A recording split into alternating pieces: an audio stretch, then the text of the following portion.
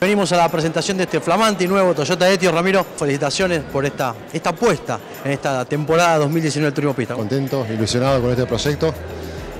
Eh, déjame agradecer a mucha gente, la verdad que a mi familia, a la gente que trabajó en el auto, a Daniel Herrero que me dio una mano grande, a la familia Pigoni que estamos acá festejando y apostando por este nuevo auto, este nuevo proyecto y a ver si podemos pelear el campeonato que es la intención.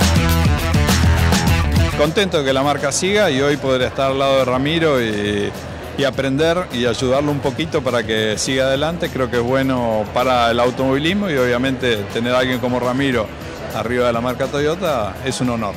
El argentino es muy fierrero, el argentino le gusta ver carrera de auto y también le gusta ver que el auto que puede comprar también participa en una carrera de auto. Ah, nosotros creemos que el automovilismo es fundamental para el negocio que hacemos. Y yo siempre digo que aquellos que amamos los fierros lo que queremos ver es en el auto de calle lo que puede hacer un piloto como ellos en una pista y uno sueña que algún día intentará hacer lo mismo, pero creo que disfruta de ver que alguien puede llevar al auto a un límite que uno quizás en la diaria no lo puede hacer.